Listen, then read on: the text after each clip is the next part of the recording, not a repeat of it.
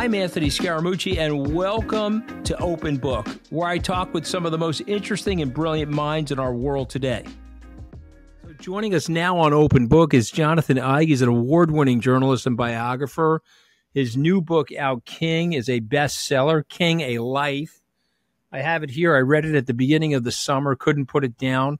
I also enjoyed the audio version of it. I thought you had a great narrator on the uh, audible.com. I read portions of it there. Um, but what I was saying to Jonathan before we started the podcast, my introduction to you, sir, was with Opening Day, the uh, story of Jackie Robinson in 1947, uh, who's one of my heroes. Uh, was, before we get into King, was 42 based on that book? No, it was not. They followed a lot of the same pattern as my book. Um, I suspect they read it, but uh, it was not based on my book. Okay, yeah, I just thought I'd throw that out there. So uh, I'll embarrass myself to you. I met with Rachel Robinson, and uh, we made a pitch to her, Ed Pressman, who had done Conan the Barbarian and the two Wall Street movies. Um, him and I had teamed up on the Paterno movie uh, that uh, starred uh, Al Pacino for HBO. We went to Mrs. Robinson, Rachel Robinson, uh, right after your book came out. It inspired me. I asked her to consider us to produce the story, but she didn't. She didn't bite. You know, she had a certain vision for what was going to happen, and so it, it was quite a successful uh, uh, movie. But your book was tremendous, and so I applaud you for that. I also read your book on Ali, uh, which was incredible. I think you can see behind me the Ali uh, picture. Yeah, I'm love gonna that. Step away for a second. This is uh, uh, this is me and the champ. Okay. Uh, unfortunately, that is a very young version of me. That's about 20 years ago. That's me and the champ. Uh, I, I used to work on his uh, charity, the Parkinson's charity. Oh, that's great. Um, but you told an amazing story, and I do think, sir, that this is your opus. Uh, and I don't think that uh, those lives are disconnected. I think Ali, Jackie Robinson, and Martin Luther King Jr. and in some ways Barack Obama are all connected. Am I right about that, sir?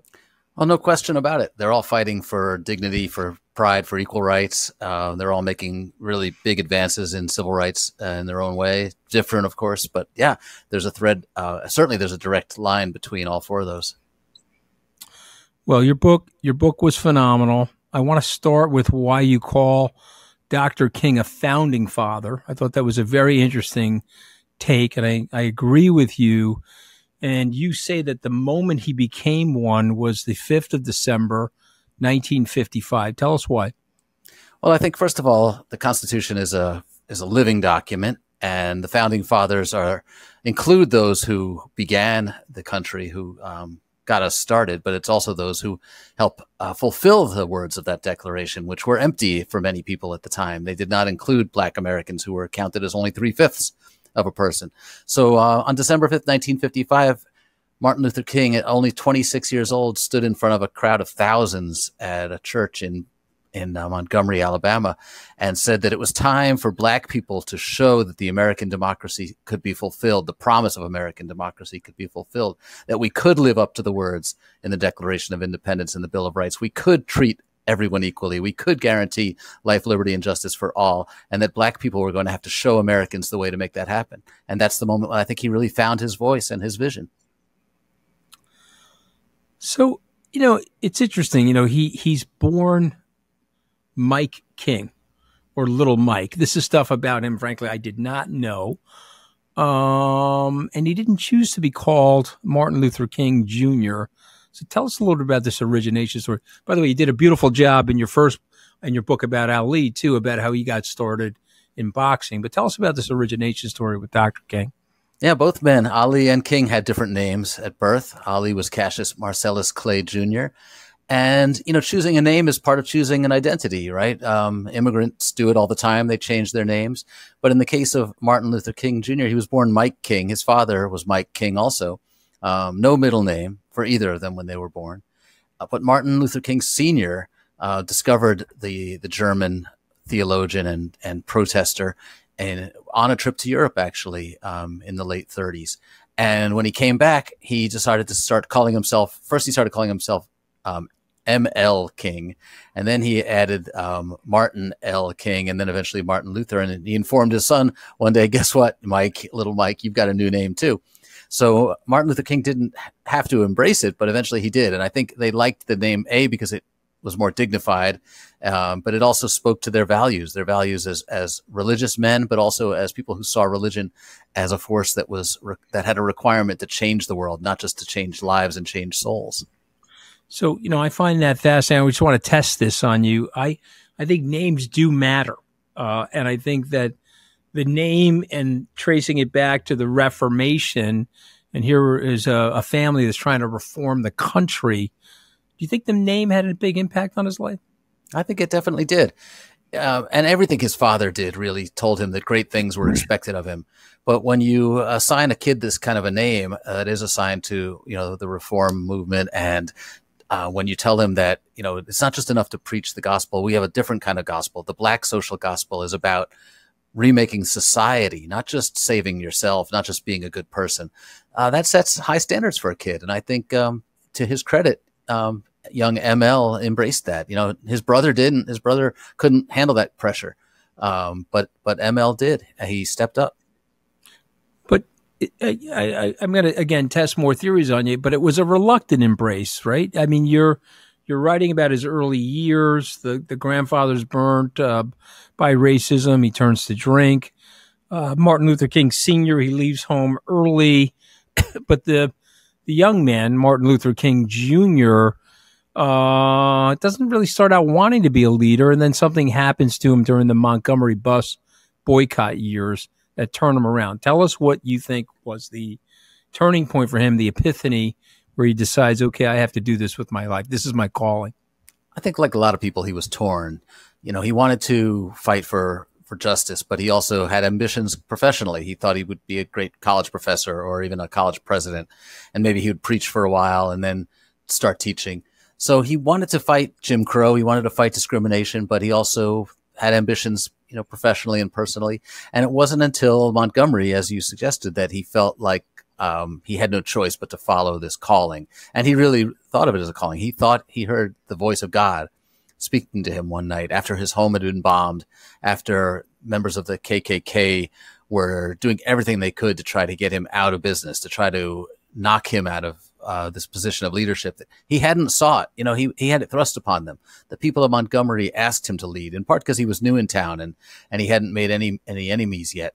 So um, King wasn't sure this was what he wanted. At first, he he said no when they asked him if he would if he would lead the the Montgomery Improvement Association. But he felt, um, especially after he he heard God speaking to him in his kitchen one night after he couldn't sleep, um, and God said, "This is what you've been chosen to do," and he followed that and um, really believed that uh, this was this was a holy a holy calling. But a complex figure. I think one of the great jobs that you do as a author and a biographer is that you present the person. Uh, and what do we both know about people, ourselves included? We're frail. We have our shortcomings. We have our strengths and weaknesses. And you're presenting Dr. King as a way more complex figure than we learned about in school, certainly. Uh, he has these uh, very ordinary flaws. He smoked, he slept poorly. Uh, he attempted suicide. I think it was twice, if I read, read it correctly in That's the book. Right. Um, uh, and he has this faith that you're talking about that keeps him going. Uh, but he also was an adulterer, was he not? Yeah, he was, and he suffered anxiety. He suffered depression. He was hospitalized numerous times for what you know the doctors at the time called exhaustion. So I thought it was very important to make King more human and to make to create a more intimate portrait because we've unfortunately in the course of celebrating him in the course of making him a national holiday and a monument on the mall in Washington, we've turned him into sort of this two-dimensional, almost mythological figure. So mm-hmm. I wanted to write a book that would remind people that he was human because, you know, if, if you have to be perfect to step up and to try to lead, no one's ever going to do it. One of, one of the uh, more poignant points of this story is his relationship with other activists, his relationship with Malcolm X, who thought, you know, it's interesting, the the whites, the Bull Connors of the era, thought he was this radical. Malcolm X thought he was, you know, a sympathizer to the White. I mean, he, I mean, it was just an interesting uh, situation that Dr. King found himself in. He's trying to strike this balance. He knows he can't get the reform done without gravitating uh, many members of the white population, frankly, to his movement. Um, but if he's overly radical, he's going to turn them off. I mean, how did he manage all of that?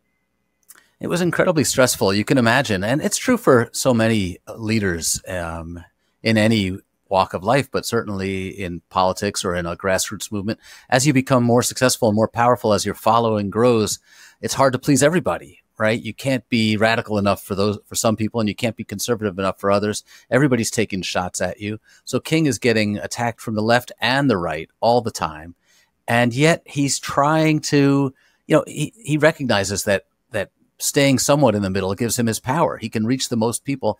He also has access to the levers of power. He can talk to the president. He can talk to members of Congress. He can fight for legislation in a way that Malcolm X cannot. Malcolm X has really very limited impact on public policy, on legislation.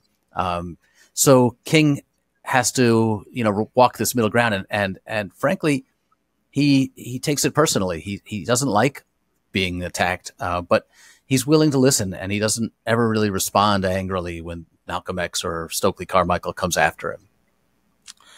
No, it's phenomenal. He, he's showing all this re- restraint, yet uh, inside he's tumultuous. He's got all this anxiety as a result of this. He's uh, trying to make sure he's striking the right balance to advance the movement. Um, I mean, you, you have such vivid detail in the book. I can still remember the serving of the ham sandwiches by President Kennedy uh, when King shows up at the White House. Tell us about the relationship with Jack and Bobby Kennedy and Dr. King. It's a really complicated relationship. King was deeply frustrated with the Kennedys, and that was even before he knew that RFK had authorized wiretaps on his phones. Um, you know, he was disappointed that the Kennedys weren't moving fast enough to do anything on civil rights. That, they they really owed Kennedy owed his election to black voters, and yet he was waffling when it came to introducing civil rights legislation because he was afraid of losing white votes in the South.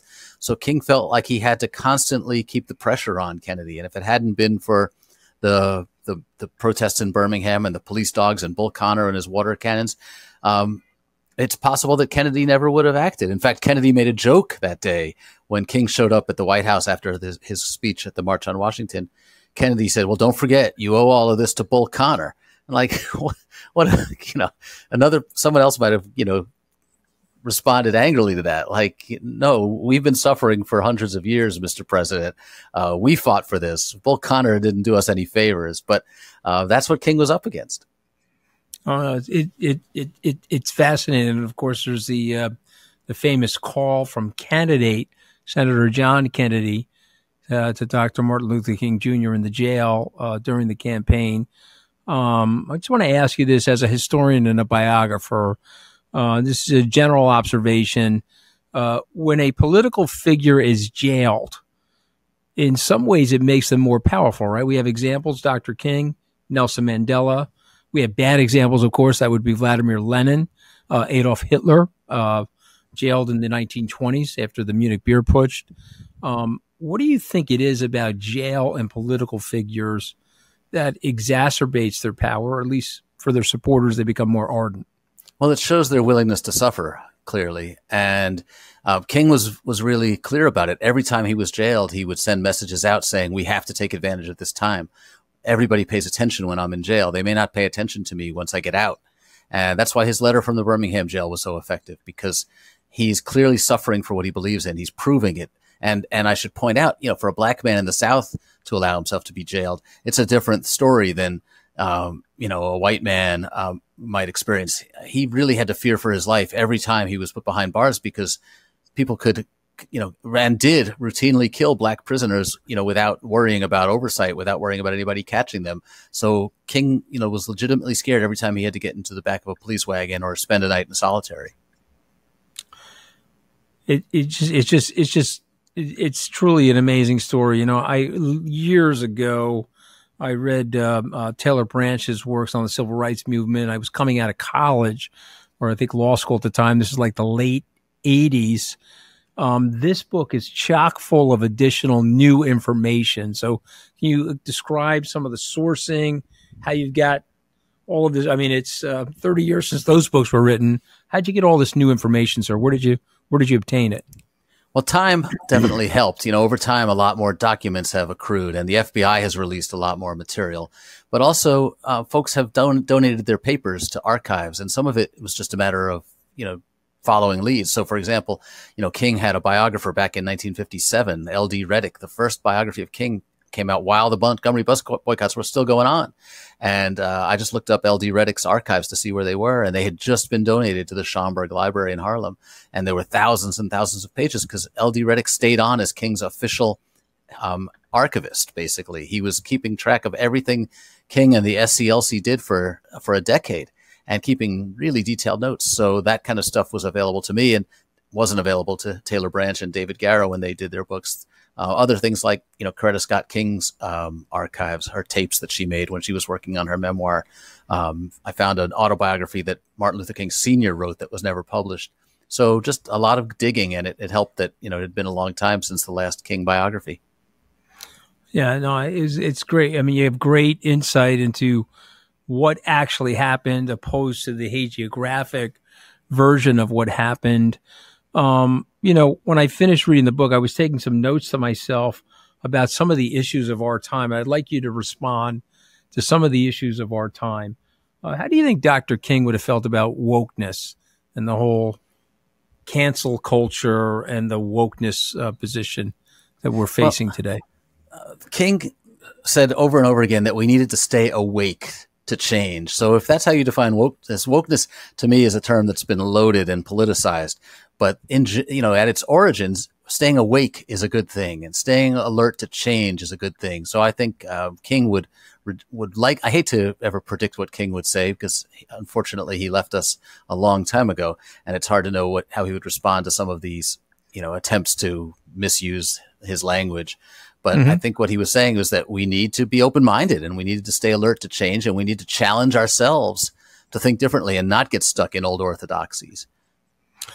Okay, so that's a really interesting thing because King is used often by the left and the right. They invoke Dr. King's words. Uh, so the right says that Dr. King would not want repar- reparations, uh, and the left says that Dr. King would want reparations. Uh, right. Where does Jonathan Eig feel that Dr. King would stand on that? Uh, once again, you don't have to ask me. All you have to do is open one of King's books, and we don't read his books. You know, we don't read his own writing. But in his own books, he talks about reparations. He doesn't call it reparations, but he says there's no reason that black people can't be financially compensated for their contributions to the American economy. And anybody who says that you can't put a dollar figure on it um, is missing the point. That you do, you take your best shot at putting a dollar figure on it in a point in an attempt to do the morally right thing, which is to atone for your sins and to pay for the sins of the past, and it can be done just as we do every time someone files a civil suit for uh, for being wronged. So King spoke to that um, directly. Same thing with affirmative action. Um, people like to say that King would be opposed to affirmative action because he um, said we should be judged by the content of our character, not by the color of our skin. But in fact, he he celebrated the the, the um, kind of affirmative action he saw taking place in India to try to erase the caste systems there. So you know, unfortunately, there's a quote that everybody can find ways to use King for whatever yeah. their no, purposes no, I, I, are. I mean, you you enlightened me on that. I mean, it's very clear from your book that Dr. King was for reparations. I've tried to enlighten some of my uh, conservative friends on that, and I've cited your book now. Um, I want to switch gears a little bit and talk about the women in Dr. King's life. Uh, Dorothy Cotton, obviously Coretta Scott King. Um, I mean, he was surrounded by strong figures. Most of these people were women, frankly. I mean, yes, there was Ralph Abernathy, of course, but tell us about this relationship with women because he's at one side, he has enormous respect. In many ways, they're mentoring and guiding him. And there's another side of him where he's womanizing, right? So there's a little bit of a dichotomy there, right? Tell us yeah, about that. There is a dichotomy. King clearly falls in love with Coretta Scott King because she's brilliant, because she's a committed activist. When they meet, she has more experience as an activist than he does, and I think that's really what attracts yeah, him. the there's place. where the mentoring comes in. You know, yep, absolutely. 100%. And yep. she's telling yep. him what books he should be reading, and she's pushing him to um, get more involved on issues beyond race all throughout their marriage, really. And the same thing with Dorothy Cotton, who becomes a, you know, his lifelong, well, not lifelong, but, you know, a, a long time um, lover and confidant. And again, she's not just a, a, a, beautiful, intelligent woman. She's an activist. She's working uh, for the SCLC as probably the, the highest ranking woman in the organization. So King is not perfect. He's, he's flawed. Um, he's, he's not faithful to his wife. Um, he picks smart women to be surrounded by, but he also fails to recognize their potential as leaders. He never really embraces uh, equality for women in the same way he does um, the equality for the races. And he over and over again misses opportunities to promote women into positions of power within his organization because he's in part, you know, biased. Uh, he's got this blind spot. Some of it is cultural. Some of it is a product of the times in which he's raised. Um, but it doesn't always excuse it. You know, he was, he was not perfect. No, it's just it's it, it's fascinating because uh, you don't with your you're giving us a three dimensional version of him and not as you said the two dimensional version. Richard Nixon was once asked about FDR. Uh, it was the centennial of uh, Franklin Roosevelt's birth. It was 1982. Roosevelt, of course, was born in January of 1882, and they said, "Well, uh, give us your rendition of Roosevelt." And Nixon said, "Well, he was a great man in the right moment."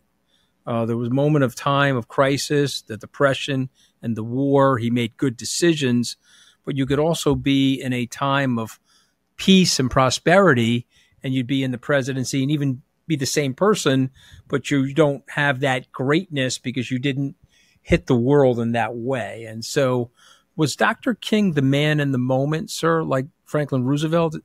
And then I guess the second question, after you ask that one, how would he fit into today's society? I think King was absolutely the right man at, at the time, and, and he was exactly what we needed at that moment. If you think about it, when he emerges in the late 50s, um, religious figures in particular have enormous respect in this country. So a lot of white people in the North hear this, this beautifully um, brilliant um, orator coming out of the South, talking about racial discrimination, talking about segregation. Uh, he's he's been educated in, in, in the finest schools in the Northeast, and he's able to speak to the whole nation because he brings the, the you know the the moral the morality of his religion combined with the patriotism of the Constitution. He's not asking um, his his followers to fight to break down the American society. He's asking them to he's asking the American society to to welcome this group that wants to join. So it's this very positive, patriotic um, message that comes along at just the right time in the late 50s and into the early 60s. You know, had he come along in the late 60s, by the time things are getting wilder and, um, you know, the Black Power movement, the, the Black Panthers are, are um, making so much noise, it's not clear King would have attracted as big a following. So who knows? Um, had he lived longer and run for office in the 70s when we started electing a lot of black figures in particular to municipal offices, you know, would King have have made it? Would he have been cut down by his uh, the controversies or the scandals around his, his, around his his love life? Who knows? Um, I, I, do think that regardless of of when he lived or how long he lived, were he around today, um, he would be ninety six now. Um, yeah, um, he would be. I, I like to think he would have the same moral clarity that he would continue to to fight for the things he believed in, which were you know rooted in his in his religious beliefs What do you what do you think we are now? Are we a less racist nation? Are we the same nation? Have we hidden our racism? Or we have we made things really better? You know, it's hard for me to say I'm a white man who has not been exposed to this um, kind of racism that um, is still endemic and systematic, systemic in this country. Um, but I do think we've we've made enormous progress, and we still have enormous problems. Uh, we see it in in the every day in the newspaper, we see that there's still enormous race-based police brutality. There's still enormous disparity in incarceration rates. Uh, there's still this anger, this hostility around things like affirmative action. So we still have a lot of problems. And King called out most of these in his lifetime. And he began to feel like in his last days that his dream of, of equality and justice and brotherhood was, was turning into a nightmare. He felt like we were blowing our opportunity. I, I before I end these podcasts, I come up with five words or five people, and then I ask the author to just give me. You can either give me a one sentence, a one word, or a paragraph, and I'm going to read you these names. I want to get your reaction to these names. Okay, you ready? Okay. So I'm going to start. I want to start with Jackie Robinson. One of America's great heroes, and someone I deeply admire, um, and um, someone who changed this not just baseball but the whole country. And and does Dr. King's life happen without Jackie? I don't think it does. I think Robinson yeah. had to prove to a lot of white Americans in mm-hmm. particular that black people could compete on equal footing if we just gave them that chance. And it was King who said, you know, before there were sit-ins, before there were um, lunch counter protests, mm-hmm. uh, Jackie Robinson was was paving the way. Yeah, well, I, I mean, one of the things I learned from your book, Opening Day, uh, in the Robinson story, uh, was that commitment and uh, the whole very famous scene with Branch Rickey where he's saying, uh, "Well, you want me to fight back?" And Rickey says, "No, I want you to be strong enough not to fight back." Uh, and he paves the way, and he's obviously turning the fan base. And I do think a lot of things, a lot of change happens in our society through sports first, don't you think? Absolutely, you know, and you see this with entertainment too, um, because we are um, we are our defenses are down in a way when we're listening to music, when we're cheering for our favorite sports teams. We don't think about the politics. We don't let ourselves be distracted the by tribalism. the angry mm-hmm. rhetoric or the tribalism. So mm-hmm. I think that those those those figures have been hugely important, from Louis Armstrong to Duke Ellington to Jackie Robinson. They have um, mm-hmm. really create changed the, the culture in a way that made it possible to change some of the politics. Al Capone. The only bad guy I've written about. My books have been mostly about good guys, but I loved Capone in a way because he was a rebel. Uh, uh yeah. You know, he was challenging a, a, law that he thought was unjust. Uh, he was also doing it to make money, which is you know pretty American concept. So I think Capone, in some ways, is is a is, is a classic um, American dream story of his own. Just you know, maybe with a yeah. little bit more bloodshed hey, listen, it's a wicked story of American capitalism uh, based on an outsider, an outsider who couldn't get into the club. And so, no, I'm not saying you or I have any sympathy for Capone, uh, but I thought your book was brilliant in terms of at least exposing you to that thought and that alternative theory. Yeah, he was an immigrant um, kid like my grandparents, you know, who uh, happened mm-hmm. to get in the wrong line of work. Mm-hmm. Another one of your great books, uh, Lou Gehrig. Gehrig is this soft spoken guy. He's the only Yankee, by the way, who even Red Sox fans admire. Um, mm-hmm. He's a soft spoken guy, so shy. I was so s- surprised to see how painfully shy and insecure he was. And he finds his greatest strength when he gets sick. And that's mm-hmm. uh, really what makes him uh, so much more than a yeah, baseball hero. Amazing. I mean, again, that one of your one of your best. I when I see your byline or I see a book from you, I I buy it pretty quickly. Let's go to Muhammad. Muhammad Ali my hero as a kid. I grew up in the 70s and, and everybody mm-hmm. loved Ali. And, he, you know, for a white kid in the suburbs of New York, it was hard for me to understand some of the stuff he was talking about. Um, wasn't until much later that I realized just how courageous he was and what he was standing up for. I certainly didn't understand the religion that, you know, he's really the, the most, to this day, probably the most famous Muslim American. And, um, he was challenging us in ways that my little brain as a kid couldn't mm-hmm. understand, but he still challenges us today. Well, the the, the most impress I mean, among many things in that book that you wrote, sir, the most impressive to me was you elucidated how smart Ali was. You know, he wasn't educated, but he had a street sense and he had a verbal communication skill second to none. But he had great observation about the planet. He was almost like a closet sociologist. You know, he he understood the planet in our ways about about as well as anybody. He wasn't afraid to call it out. Yeah, and you know, in some ways, he reminded me of, of Donald Trump in that he had this enormous self confidence. Figured he he was going to figure out how to do whatever he wanted, and he was going to make it right because he said it was right, and he was going to find a right. way to, to, right. to pull people along with him. So, is that narcissism? Is that self confidence? Maybe it's both. I think um, mm-hmm. they both. You know, mm-hmm. I saw some as I was well, writing that book. I saw some some some common threads.